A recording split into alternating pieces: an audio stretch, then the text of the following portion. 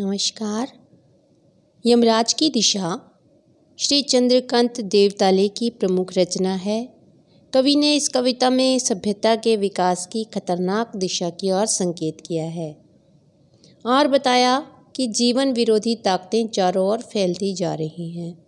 कवि ने बताया है कि बचपन में उसकी माँ ने उसे दक्षिण की ओर पैर करके सोने को अपशकुन बताया था। वह बताती रहती थी कि ईश्वर से उसकी मुलाकात होती रहती है। उसकी सलाह से ही वह जीवन के सुख और दुख सहन करने का मार्ग खोज लेती है। इसलिए उसने यह बताया कि दक्षिण दिशा मृत्यु की दिशा है और उधर पैर करके सोना यमराज को क्रुद्ध करना है। माँ ने पूछने पर यमराज के घर का पता भी बताया था और कहा था कि तुम जहाँ भी हो, वहाँ से दक्षिण की ओर यमराज का घर है। बचपन में माँ के उपदेश का कवि पर प्रभाव अवश्य पड़ा और वह कभी भी दक्षिण दिशा की ओर पैर करके नहीं सोया। दक्षिण दिशा में खूब घूमा, किंतु उसका कोई छोर नहीं था, अन्यथा वह यमराज का घर भी देख लेता। किंतु आज के जीवन में जिधर भी पैर करके सो, वह दक्षिण दिशा ही हो जाती है, क्योंकि सभी दिशाओं में यमराज के बड़े बड़े महल हैं। वहाँ वे एक साथ अपनी दहकती आँखों सहित विद्यमान हैं। कवि की माँ अब नहीं रही और न ही यमराज के निवास की निश्चित निश्चित दशा रही। अब हर दिशा यमराज की दिशा हो गई है। आज हमें उनका सामना करने के लिए तैयार रहना चाहिए। हम कवि पंक्तियों में इस प्रकार व्यक्त करता है कि माँ की ईश्वर से मुलाकात हुई या नहीं, कहना मुश्किल है, पर वह जताती थी जैसे ईश्वर से उसकी बातचीत होती रहती है और उससे प्राप्त सलाहों के अनुसार ज़िंदगी जीने और दुख बर्दाश्त करने के रास्ते खोज लेती है। कवि कहता है कि बचपन से वह माँ से यही सुनता आया था कि उसकी माँ की ईश्वर से मुलाकात होती थी। कवि का मानना है कि उसकी माँ की ईश्वर से मुलाकात होती थी या नहीं, यह कहना बहुत मुश्किल है। किंतु वह सदा यही दिखावा करती थी कि वह ईश्वर से बातचीत करती है और अपने दुख और सुख सहन करने के जीवन के मार्ग खोज लेती है। प्रस्तुत काव्यांश अत्यंत सरल और व्यवहारिक भाषा में रचित है। कवि का आशावादी दृष्टिकोण इसमें दिखाई देता है। कवि ने अपनी माँ के माध्यम से आस्थावादी भाव को बताया है।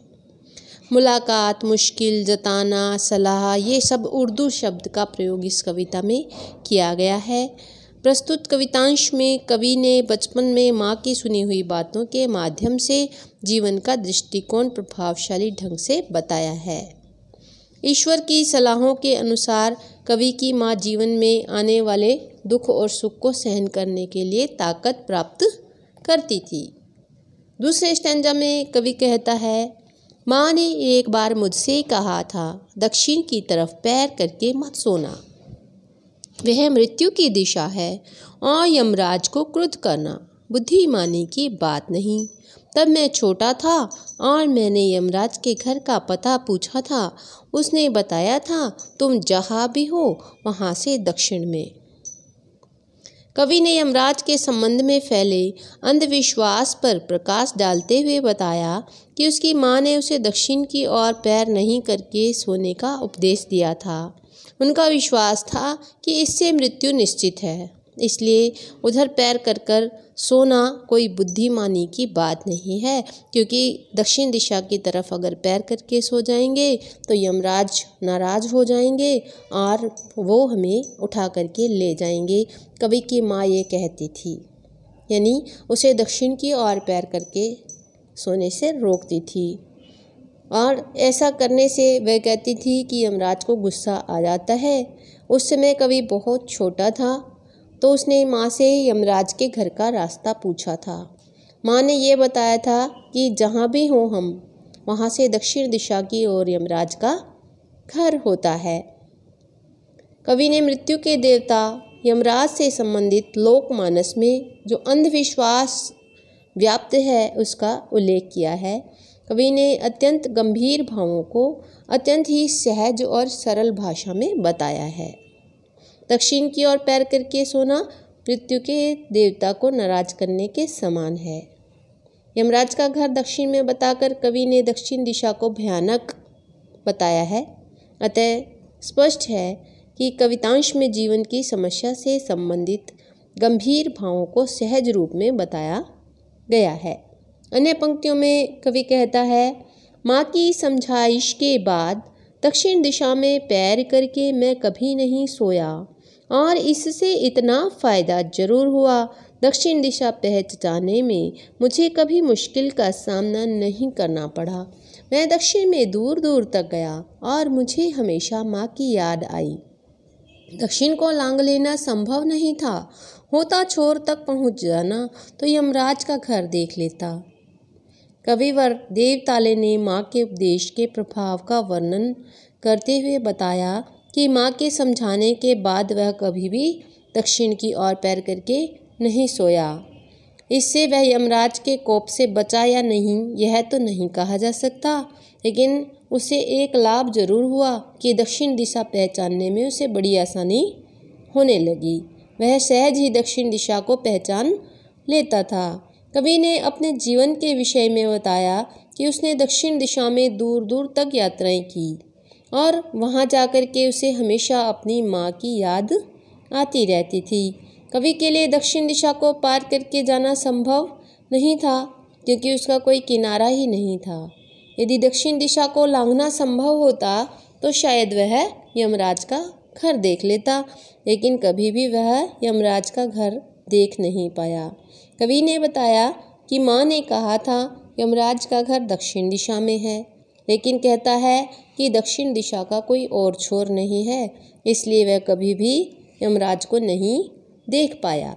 अन्य कविताओं, कविता की पंक्तियों में वह कहता है, पर आज जिधर भी पैर करके सो, वही दक्षिण दिशा हो जाती है। सभी दिशाओं में यमराज के आलीशान महल हैं और वे सभी एक साथ अपनी दहकती आँखों सहित विराजते हैं। माँ अब नहीं है और यमराज की दिशा भी वह नहीं रही जो माँ जानती थी। बहुत ही शानदार पंक्तियाँ हैं। कवि कहता है कि माँ का कहना था कि दक्षिण दिशा में यमराज है, इसलिए उधर पैर करके नहीं सोना चाहिए। किंतु कवि का तर्क है कि आज का जो युग है, यानी आज जो जिस प्रकार से संसार में कलयुग के यमराज उत्पन्न हो गए हैं, हर कहीं दक्षिण दिशा उत्पन्न हो जाती है। हमारे चारों ओर यमराज ही यमराज हैं। सभी दिशाओं में यमराज के सुंदर भवन हैं। अर्थात चारों तरफ़ जहाँ भी हम जाते हैं, हमारे शोषक लोग आपको हर समय विद्यमान मिलेंगे, जो आपको परेशान करेंगे, बिना बात सताएँगे। ऐसे लोग आपको आपके चारों तरफ़ हमेशा ही विद्यमान मिलेंगे और इनके महल जो होते हैं, वो बहुत सुंदर होते हैं। यानी शोषक जो है, शोषक वर्ग की ओर यहाँ पर संकेत किया है जो शोषण करता है, उसी के बड़े बड़े सुंदर महल बनते हैं और उनकी तुलना, ऐसे शोषक लोगों की तुलना कवि ने यमराज से इस कविता में की है और कहा है कि ये एक साधारण इंसान को हर दिशा में मिल जाते हैं। इसलिए निश्चित रूप से यह कहना संभव नहीं है कि दक्षिण दिशा में ही यमराज का घर है। आजकल हर दिशा ही दक्षिण दिशा हो गई है और ऐसे यमराज सबके सब अपनी दहकती हुई आँखों सहित आपको आपके चारों तरफ़ मिल जाएँगे। कवि कहता है कि आज माँ नहीं है, जो यमराज के विषय में और उसकी दिशा के विषय में बताती थी। यमराज की दिशा भी वह नहीं रही जो माँ के समय में हुआ करती थी।